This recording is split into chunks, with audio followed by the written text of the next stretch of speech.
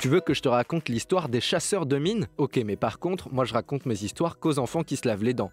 Donc attrape ta brosse à dents, ton antifrice, et tu frottes jusqu'à ce que l'histoire soit terminée.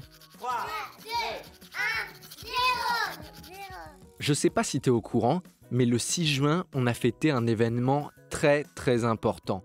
Le 76e anniversaire du débarquement. Et tous les ans, normalement, c'est une fête super joyeuse en Normandie, dans l'ouest de la France.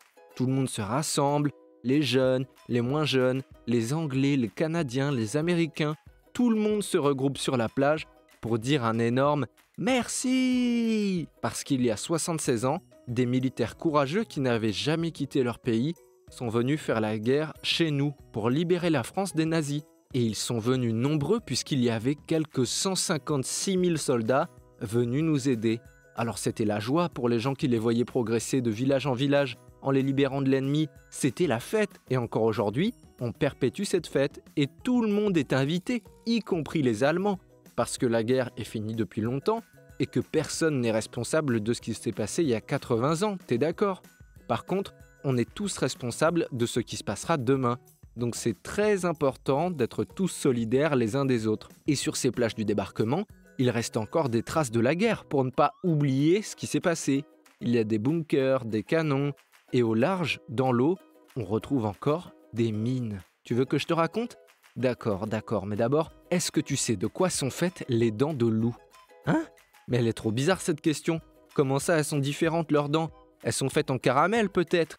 Eh ben presque, puisque les dents de loup, c'est le nom que l'on donne à une forme de sablé super giga bon, fait tout simplement avec du beurre, du sucre et des œufs. Trop fastoche en fait.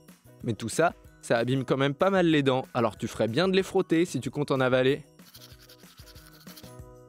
Bon, je reviens à mon histoire de la Seconde Guerre mondiale. Encore aujourd'hui, pour éviter les accidents, des chasseurs de mines sont déployés dans la Manche et dans la mer du Nord pour sécuriser les côtes. Parce qu'on sait très bien qu'au fond de la mer, il y a des mines qui n'ont pas encore explosé.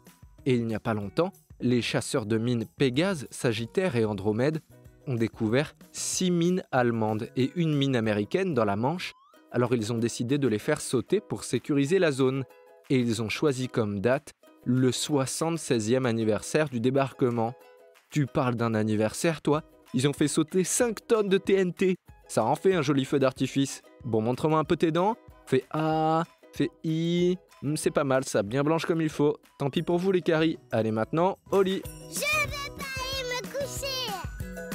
Retrouvez les épisodes des Dents et Dodo sur le site et l'application BFM TV et sur toutes les plateformes de streaming. Si cet épisode vous a plu, n'hésitez pas à lui donner une note, à vous abonner à la playlist et surtout à en parler autour de vous. C'est un podcast BFM TV.